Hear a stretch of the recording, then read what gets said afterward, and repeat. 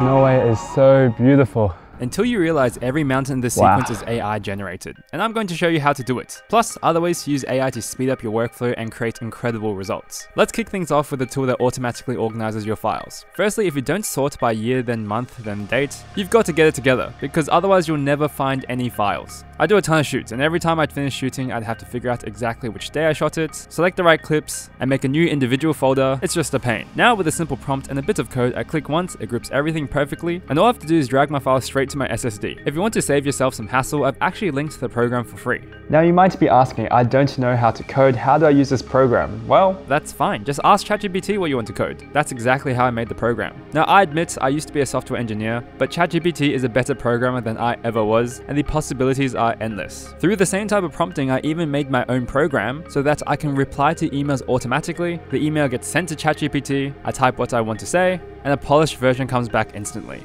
Now let's answer an age-old question. Is ChatGPT Pro worth it? For me, I ask it things all the time. I would say yes. Paying for the Pro version also lets you upload files. Let's say for some reason, the app I linked doesn't actually work when you download it, but you can literally upload it, tell ChatGPT what you want to change or why it's broken, and it can give you step-by-step -step instructions on what to fix it or fix it itself. Overall, I think it's worth the investment, but if you really don't want to pay money, you can cycle between AIs like ChatGPT, Claude, and DeepSeek, and that does work fairly well.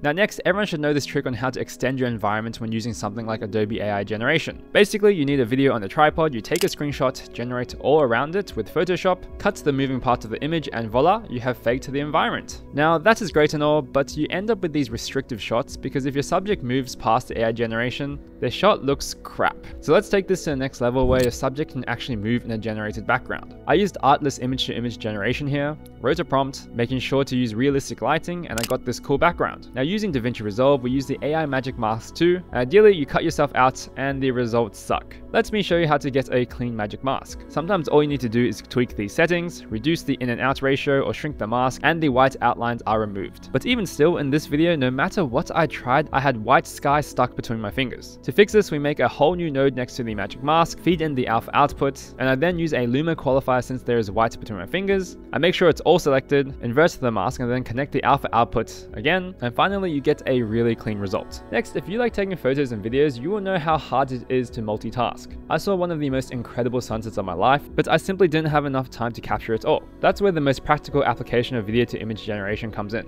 I use Artlist and by chucking in some photos I took, I get some really good results I can use into an Instagram reel or even a video carousel. Artlist has also incorporated Google's VEO3 in their AI video generation as an option. Obviously, you don't have to use Artlist to use this, but I'm doing it because it's convenient for me. And let's just say these AI generated results are outstanding. Some simple ideas you can do is turn any photo into a time lapse, or create more b-roll for YouTube videos. I thought this image would have been challenging, but it created realistic motion on the horse really well. The only caveat here is that videos do look over sharpened, but these clips would be perfect for times where you are filling in the gaps in your story. It's obviously not replacing an FX3 short film. While we are on the topic of Artlist, their text to image generation is an amazing way to storyboard for a client or even yourself. With some simple prompts, you can plan for shoots, impress clients, and set you up for success. Now, up until now, none of this was sponsored, and genuinely, if you pay close attention to my page, I stopped working with Artlist so I could try some different music providing platforms like Epidemic Sounds or Audio. But after testing these for a few months, they just couldn't compare to Artlist. I have used the music and sound effects for years, but just utilizing these AI features, AI voiceover, and even voice cloning, these have really allowed me to make better content as a creative. Other music platforms don't have any of these AI tools, let alone Artlist continues to give updates and develop these useful AI features. I would highly recommend it, and if you want two months free off your subscription, use my link in the description.